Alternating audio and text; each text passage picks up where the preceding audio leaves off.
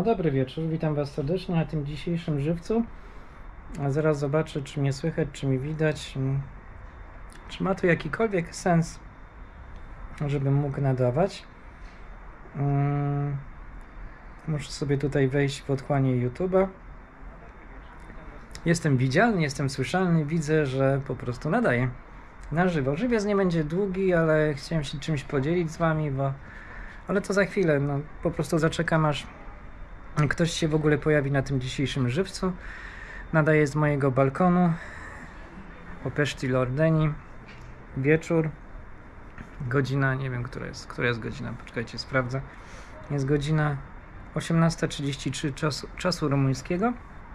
E, Popijam sobie gorącą czekoladę bez cukru. Ona jest specjalna, taka e, w pudrze kupiłem bez zawartości cukru czekoladę. Rozpuściłem ją z mlekiem. Dodałem cynamonu, e, skórkę pomarańczy, tak e, utarłem i jest naprawdę dobra. W ogóle nie jest słodka, ale jest naprawdę dobra. Ciepła czekolada. Już w tej chwili ciepła, bo trochę przestygła i nie jest taka gorąca. Cześć Uli, witam. Witam Urszula, witam Karolina. Zachęcam Was do tego, żebyście oglądali Karolinę na jej kanale Caroline ZZ, która nadaje z Chicago. Miałem przyjemność z Karoliną zrobić wspólnie film. No i tak, i Wam polecam. Przypominam. Mm, witam Cię Sławko. Uri mówi, pisze, mów o co chodzi. Witam wszystkich. Bożenka, Jarosław, witam. E, zaraz tak, przejdę e, do rzeczy, powiem Wam, co, co mi chodzi po głowie, co się wydarzyło. E, I to już trwa od paru dni. Ale jeszcze na, na początku to chcę Was zachęcić do tego, żebyście pisali komentarze, jak zawsze. Skąd oglądacie tego żywca, bo jest to dla mnie zawsze ciekawa informacja. Poza tym łapki w górę, no i subskrypcja tego kanału. Mm, Chodzi o koleżankę Wiktorię, e, która pracowała ze mną w poprzedniej pracy. Mm, Z tym, że pracowaliśmy na odległość. E, Miałem przyjemność zrobić film urodzinowy e, z okazji po prostu jej urodzin. Pojawiła się na kanale. E, Robiłem ten film wtedy, pamiętam, e, z Izą. To były koleżanki, znaczy dalej są koleżanki, z którymi pracowałem i one e, pracowały zdalnie, jeśli chodzi o tą firmę, gdzie pracowałem dla telewizorni. One pracowały ze Szwecji. I powiem tak, że w ogóle to Wiktoria się zwolniła z tej pracy, sama odeszła, a parę dni później okazało się, że e, projekt e, tych telewizorni zamykają e, w Szwecji i że nie będzie już ten, tylko że tylko w Rumunii. Tak się okazało, ale nie o to mi chodzi, bo to, że ona się tam zwolniła z pracy, to, to miało miejsce, dała wypowiedzenie mm, jeszcze chyba pod koniec września i do 27 października miała tam pracować. I tak pracowała, tak? E, ale chodzi mi o to, że e, no chciałem tylko rozjaśnić sytuację, kim jest Wiktoria, tak? Wiktoria. Miałem przyjemność właśnie pracować z nią, z Izą i z Natalią. E, powiedzmy, że mamy wspólny gdzieś tam kontakt, z racji tego, że nam się bardzo dobrze e, współpracowało, mimo iż na odległość, mimo iż nie spotkaliśmy się tak na żywo. Mm, Ale co Wam chciałem powiedzieć? E, założyliśmy taką grupę na WhatsAppie. Ja ją założyłem, ja byłem twórcą tej grupy. Grupa dalej istnieje, nazywa się Sferie.pl Team, czyli po szwedzku Szwecja, polski, polski team, polska drużyna. E, I tam się komunikowaliśmy. Było to dla nas wygodny taki czat, zwłaszcza wtedy, jak pracowaliśmy wspólnie, jak mieliśmy dużo rzeczy do wyjaśnienia. Powiem tak, że każdy gdzieś na etapie e, drogi naszej w telewizorni się wykruszył. Pierwszy byłem ja, który zrezygnowałem, później odeszła Iza, e, później odeszła e, właśnie Wiktoria, została Natalia, która tam jeszcze pracowała. E, W zasadzie pracuje jeszcze teraz e, ponieważ ten projekt, ok, on się skończył, ale kończy się w grudniu, czy tam z końcem grudnia, czy z początkiem grudnia, już, to już nie jest jakiś istotny. I Natalia została sama na polu walki, e, ale też dała wypowiedzenie.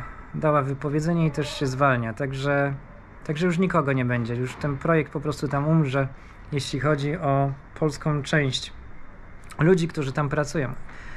I teraz tak, co się stało z Wiktorią? Nie wiem, bo e, okazało się, że mm, codziennie pisaliśmy coś na tej grupie, na WhatsAppie, różne wiadomości i 10 listopada była gdzieś ogólnie ostatnia wiadomość, jaką wymieniałem z Wiktorią o Dniu Niepodległości i pisałem, że będzie coś ten...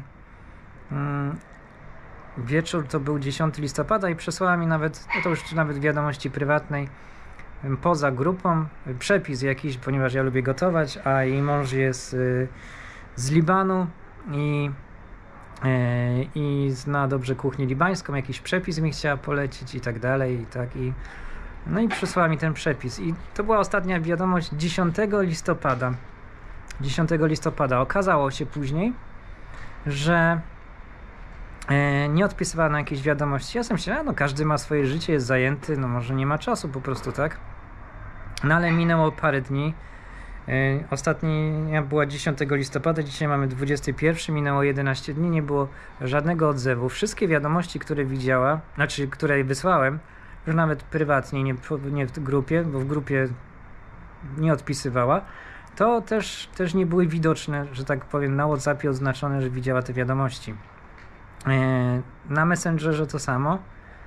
Próbowałem zadzwonić, nie odbiera. Jest sygnał, ale nie odbiera. I nie wiadomo, co się stało. I mam po prostu takie złe teraz y, przeczucia, że no coś się musiało wydarzyć niedobrego, że po prostu nagle tak się kontakt urwał. I oprócz tego zauważyłem, że 15 listopada Wiktoria opuściła naszą wspólną grupę na WhatsAppie. Tą właśnie sferię.pl Team i w ogóle nie wiem, co się stało teraz. I mam to tak gdzieś w tyle głowy, mm, z tego względu, że uważam, uważałem, dalej uważam tak, że jest to wartościowa osoba, że była poglądowo identyczna jak ja, że mogliśmy rozmawiać o różnych rzeczach, że w zasadzie w bardzo wielu kwestiach się zgadzaliśmy, tak? Lubiła oglądać moje filmy, lubiła um, brać udział w żywcach, i nie wiem, co się, e, co się, co się takiego wydarzyło. Pisze tutaj Paweł, może zakaże od męża. Też sobie tak w pewnej chwili pomyślałem, ale, ale w sumie co, do tej pory nic, nic takiego się nie działo, a nagle zakaz. Zresztą nie było jakiegoś powodu, czy też przesłanek do tego, żeby, nie wiem, być zazdrosnym o cokolwiek, nie wiem. Nie, nie było takich powodów, przecież ona ma męża, ona ma trójkę dzieci, ja też mam Anę, mam Karima. To, to nie, było, nie był żaden kontakt, który miałby mieć jakiekolwiek gdzieś tam podteksty, tak? Po prostu normalne koleżeństwo, rozmowy o, czasami o niczym, czasami wysyłaliśmy sobie zdjęcia, a upiekłem chleb, zrobiłem coś do jedzenia, ona wysyła jak tam z córką gdzieś była, tak? No i taki normalny kontakt, taki koleżeński, naprawdę koleżeński i tylko tyle, tak? Więc nie, myślę, że to nie było gdzieś tam powodów do tego, żeby zrywać kontakt, żeby Mm, żeby nagle opuszczać mm, grupę, którą, którą razem wspólnie e, tworzyliśmy. Może telefon zmieniła, pisze Urszula. Też się nad tym zastanawiałem, ale, ale dlaczego 15 listopada by opuściła grupę na Whatsappie? Było komunikat, opuściła. Ja to zauważyłem dopiero, bo nie wchodziłem już też na tą grupę, jak ona nie pisała od iluś dni, sobie myślałem, a dobra, nie, to nie wchodzę. No, Eee, może, może coś ten. No ale później jak zobaczyłem, sprawdziłem, no to okazało się, że mm, jak to tam było napisane, uczestnik grupy opuścił ją. Coś takiego był komunikat. Napisałem do pozostałych dziewczyn, do Natalii, do Izy. No i one poprosiłem je, żeby one się skontaktowały z Wiktorią też, tak, żeby do niej napisały, czy cokolwiek, jakiś kontakt spróbowały złapać i okazało się, że mm, że one tak samo ani nie przeczytały od ni o nich wiadomości, więc to nie jest tylko ode mnie, tylko od wszystkich nas, tak? Więc mam po prostu takie złe e, przeczucia, że coś się stało, a e, martwi mnie to z tego względu, że jest to wartościowy człowiek, wartościowa osoba naprawdę, tak? I, i nie chciałbym, żeby ten, bo okej, okay, jeżeli z jakichś powodów, tak jak tu nawet piszecie, że nie wiem, mąż by jej powiedział, że no, nie, nie rozmawiaj z nimi czy coś, E, to, to mogłaby to powiedzieć szczerze. Mogłaby to powiedzieć szczerze i powiedzieć, a mój Ali jest, bo tak ma na imię, zazdrosny, nie, nie żebym z wami gadała czy coś tam i ten, ja, ja nie mogę tak dłużej czy coś tam. Nie wiem, to ale ona nie jest taką osobą i ten. Myślę, że ona jest na tyle otwarta. Wiktoria, mm, takim człowiekiem otwartym, o ciepłym charakterze, więc nie sądzę, żeby to było gdzieś tam też przyczyną. Mam po prostu złe przeczucia, że coś się wydarzyło niedobrego, ale nie, nie jestem w stanie tego sprawdzić, mm, co dokładnie, tak? Nie jestem w stanie sprawdzić, no. Nie wiem. Chciałem się tym gdzieś podzielić, bo mi to chodzi po prostu, mm, chodzi mi to gdzieś po prostu po głowie. Mm, nie wiem jak dalej działać, skoro nie odbiera telefonu, no ja nie pojadę do niej, żeby sprawdzić, nawet nie wiem dokładnie gdzie mieszka, znam tylko miasto, że miasto gdzieś na przedmieściach, Linköping mieszka, tak? Ale, ale ja, tam nie, ja tam się nie pojawię. Ja tam się nie pojawię. E, tak, no tak to, tak to wygląda. Zobaczę, co piszecie jeszcze na czacie. Mm. E, ludzie się zmieniają, pisze Ala. No, zmieniają się. Może nastąpiła jakaś zmiana. Może coś się nagle zmieniło takiego, że nie wiem. Mm. Yy, Urszula pisze, Ali rzeczywiście mąż zabronił. Nie wiem. Cześć Ala w ogóle, tak. Yy, Genovefa tutaj się wita. Justynka może po prostu się odcięła, bo ktoś z grupy ją zdenerwował. Nie, ja bym powiedział, że raczej nie, bo nie było takich gdzieś yy, przesłanek. To by się nie odcinała wtedy od wszystkich, tak. I, zwłaszcza, że ten, no nie wiem, no. Nie wiem jaka jest dziś przyczyna, tak. Nie wiem. Jest mi to po prostu Chodzi mi to tak po głowie, bo mam po prostu złe przeczucia. No złe, złe przeczucia, że coś się musiało w jej życiu e, wydarzyć, takiego, że nie wiem, no nie chcę tu do mnie nie wiem, może ja powiem tak, może jak i spróbuję wysłać link do tego żywca, e, czy, czy, od, czy w ogóle go, no ale jak nie czyta wiadomości żadnych, to to nie wiem dlaczego miałaby nagle obejrzeć żywca. Mm nie wiem, powiem wam. Jestem trochę taki rozbity tym, bo tak jak mówię, mm, jest to ktoś, kto jest naprawdę wartościowym człowiekiem. Napiję się tej ciepłej czekolady, żeby jeszcze mi nie wystygła do końca. A jeszcze jest ciepła. Rzeczywiście. Bez cukru, z cynamonem, ze skórką pomarańczy. W środku mam taki plasterek wrzucony, wrzucony pomarańczy, który mi też pływa i nadaje takiego aromatu, także jest naprawdę dobra. Danuta pisze, mąż zabronił. No nie wiem, może, może, słuchajcie, ja już sam nie wiem. Yy, nie wiem, słuchajcie, co może być, że tak powiem, gdzieś przyczyną. Jest mi po prostu tak głupio i, i, i tak trochę przykro bym powiedział, tak? Bo nie chciałbym, żeby tak po prostu tak nagle z dnia na dzień kontakt się urwał z kimś, kto, no, no, no, tak jak mówię, nie, bo jest to ktoś, kto jest naprawdę wartościowym mm, człowiekiem i, i, i, tak dziwnie, no dziwnie się po prostu z tym czuję, nie. Chciałem się z tym podzielić, myślałem, że wczoraj już nawet zrobię w tej kwestii żywca, ale ja sobie myślę tak, dobra, jeszcze zaczekam, wymyśliłem wczoraj ten temat o tym żywcu, o tym cukrze i stwierdziłem, że na tym się skupię. Ale właściwie moją myślą przewodnią było to, to dzisiaj, że chciałem porozmawiać o Wiktorii, mm, ale stwierdziłem, że jeszcze się wstrzymam, może liczyłem na to, że odpiszę na jakieś wiadomości od kogokolwiek od nas, e, bo poprosiłem dziewczyny, żeby się z nią skontaktowały. Myślałem jeszcze, że odbierze telefon jak dzwonię, no ale, no ale no, głową muru nie przebije, tak jak to się mówi, tak? No nie ma, nie ma kontaktu, nie?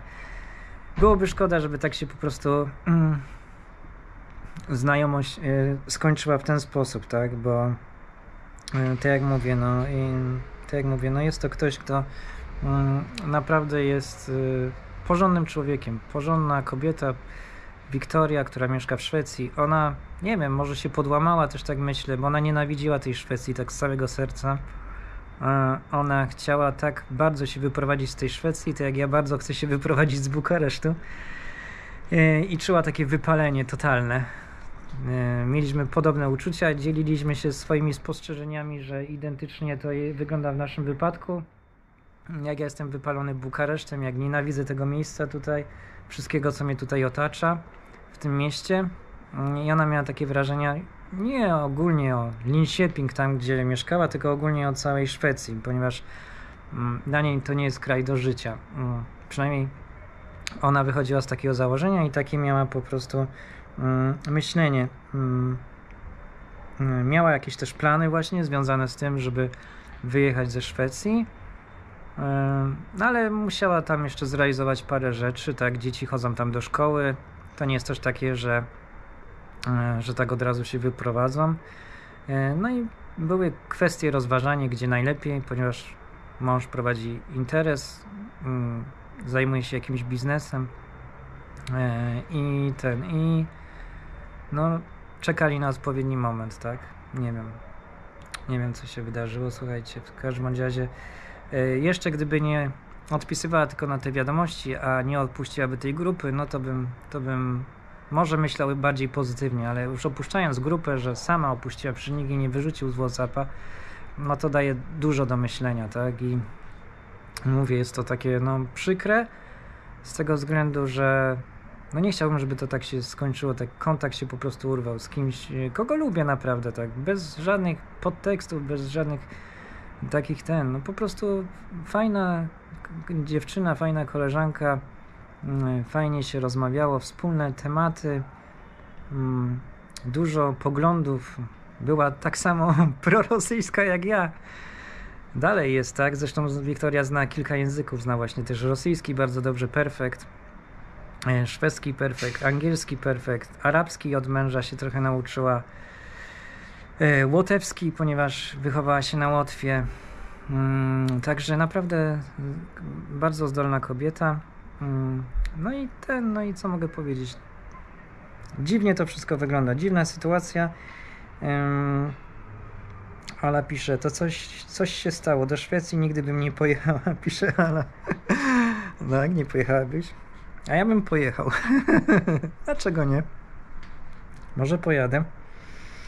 Mm, mój, bo, mój mąż mm, by nie zabronił, bo i tak by nie bo by i tak nie usłuchała w takiej kwestii. Swoje sprawy załatwiam sama i nie wierzę, że jej milczenie wynikło z błahego faktu. Też tak, też tak mi się wydaje. Nie wiem, ja się, ja się domyślam, że może się już podłamała całą sytuacją, że, że ją przerasta ta Szwecja też i, i gdzieś tak sobie to próbuję wyjaśnić, mm, ale tak nagle z dnia na dzień ona była raczej mocną, miała mocny charakter, tak? I to, że mówiła otwarcie, że, że jej się tam nie podoba, no to po prostu musiała to, ten fakt przez jakiś czas jeszcze tolerować. Mm, miała jakieś założone cele, o których ja tu nie mogę też mówić, wiadomo, ale miała do zrealizowania i później była szansa i jest perspektywa, że mieli się przeprowadzić. Czy to ona, jej się marzyła Turcja w ogóle, żeby się przeprowadzić do Turcji, że tam, tam się czuła kiedyś bardzo dobrze, że pojechali na trzy miesiące do Turcji rok temu, że to byłoby idealne miejsce do, do życia, przynajmniej dla niej. Ona się tam bardzo dobrze czuła, tak? Albo do Irlandii, ponieważ spędzili w Irlandii też jakąś część swojego życia. Także to były gdzieś dwie opcje takie do, roz, do rozważenia. Mm, nie sądzę, żeby wyjechali tak nagle i nagle, żeby tak się po prostu urwał kontakt. No, nie wiem, jak będzie coś na rzecz, jak się coś zmieni, mm, to was poinformuję. To zrobię oczywiście takiego żywca, tak? Ale na razie dla mnie jest to takie niezrozumiałe, dla mnie jest to takie niepokojące bardzo. Chciałem się tym faktem podzielić, chciałem po prostu y, powiedzieć, no, że no, że jest mi przykro, tak, że, że nagle tak kogoś znacie, a na drugi dzień po prostu wszystko się tak urywa i tak jedną kreską jest wszystko odcięte, tak. Nie wiem, no ja, ja do czegoś takiego nie przywykłem, no.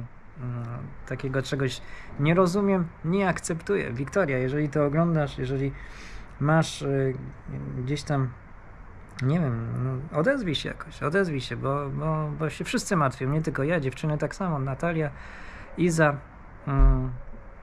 każdy myśli, co się, co się dzieje, co się stało, i, i wszyscy by chcieli jakiegoś kontaktu. Przynajmniej napisz coś, powiedz, że potrzebuje czasu, ten odezwę się za miesiąc, za dwa, ale wtedy będziemy wiedzieć, na czym człowiek stoi, tak? A nie takie, wiecie co, taka niepewność. Najgorsza jest taka właśnie niepewność, takie gdybanie, co się stało, co ten, może w szpitalu jest, może miał jakiś wypadek, cholera wie, tak? No ale jakby miała wypadek, to by się nie wypisała sama z grupy. Nie wiem, także e, takie to jest wszystko. Mm, Wszystkie to jest, wszystko jest takie zastanawiające, y, smutne. Nie wiem, chciałem się tym podzielić. Tak jak mówię, myślałem, że wczoraj zrobię takiego żywca, y, ale dałem sobie jeszcze szansę, żeby przeczekać. Jeszcze próbowałem zadzwonić, nie odbierała. No to dzisiaj robię taki żywiec. y, A lubię się dzielić pewnymi faktami. Może jest to gdzieś trochę prywatne, ale z drugiej strony pojawiła się też w filmie Wiktoria. Robiłem film z okazji jej urodzin. Z, y, no i co? I y, Iza też wystąpiła w tym filmie wtedy. Mm, tak dziwnie, nie? Dziwnie, wiecie o co chodzi. No. Jak się z kimś y, człowiek tak dobrze mie miewa, dobre ma relacje, dobre koleżeńskie takie, no to, to jest tak po prostu nijako, nieswojo, z dnia na dzień, jak się urywa po prostu kontakt, nie? Ja się tak czuję właśnie, tak. Także ym, Rafał, czy wczorajszy wieczorny film zniknął? Justyna pisze. Zaraz zobaczę. Dlaczego miałby zniknąć wczorajszy wieczorny film? Jest. Jest cukier. Ja widzę w YouTube Studio. widzę, jest y, wczorajszy wieczorny film. Taki, takie zdjęcie z miniaturką i tam pisze Karim. Mm, na zdjęciu takie wstawiłem. Dobra, jeszcze powiem Wam tak informacyjnie, bo może mi światło nie wytrzymać zbyt długo, bo nie ładowałem go. Mm, Dzisiaj miałem okazję zrobić film, y, który pojawi się, zaraz Wam powiem, kiedy ten film się pojawi. Dopiero 3 grudnia. Dopiero 3 grudnia, mm, ale y, jest to film tak zwana riposta. Film riposta. Zostałem zainspirowany do zrobienia tego filmu przez Dawida, który jest stałym widzem, przez Dawida, który jest, y, ale nie Dawid z niewygodny temat, tylko inny Dawid, mm, który ogląda ten kanał, który jest, no, odkąd ogląda, odkąd jest moim, y, jest moim kolegą, mamy jakiś tam też prywatny kontakt, mieszka w Świętokrzyskim y, w Polsce. I wysłał mi film, link do filmu, który pojawił się w otchłaniach YouTube'a. I w tym linku obejrzałem film, do którego zrobiłem ripostę ponieważ się zdenerwowałem oglądając ten film i ten film będzie przeciwko pewnemu youtuberowi, który ma 80 parę tysięcy subskrypcji na YouTubie. Nie powiem na razie o kogo chodzi. Dawida proszę, żeby na razie nie pisał w komentarzu. Mm, no i pojawi się film. Ten youtuber się dowie na pewno, że ten film zrobiłem, mm, że powstał. Mogą być z tego cyrki dopiero jeszcze. On też pewnie nie będzie robił filmy riposty, bo mu się nie spodoba to, co powiedziałem i to, co zrobiłem w tym filmie. E, także no to tak chciałem wyjaśnić, wyjaśnić, że taki, taki materiał będzie 3 grudnia dopiero. Ale będzie, bo wszystkie filmy gdzieś tam czekają w kolejce. E, także, także no to jest to, co jeszcze chciałem Wam powiedzieć tak informacyjnie. Dobrze, dziękuję Wam, że tutaj dołączyliście do tego żywca. Jest Was bardzo dużo oglądających. E, tak jak mówię, chciałem się podzielić tym faktem. No i mam nadzieję, że, że coś się zmieni. My, może Wiktoria obejrzy tego żywca.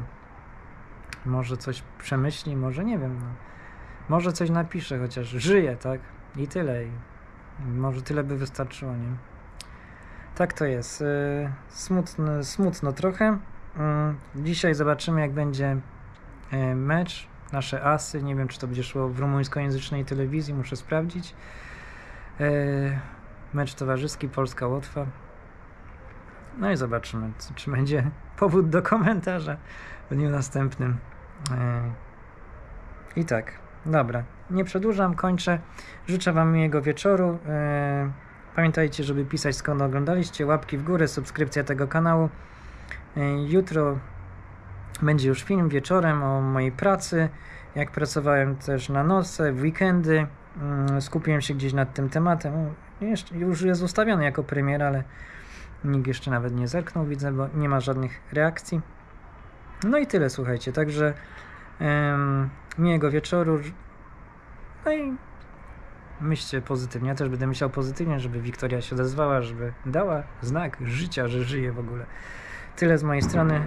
No i żegnam się z Wami. Do usłyszenia. Pa. Dobranoc. I kiedykolwiek będziecie oglądali tego żywca z odtworzenia, no to też Was pozdrawiam. Trzymajcie się. Do usłyszenia. Pa.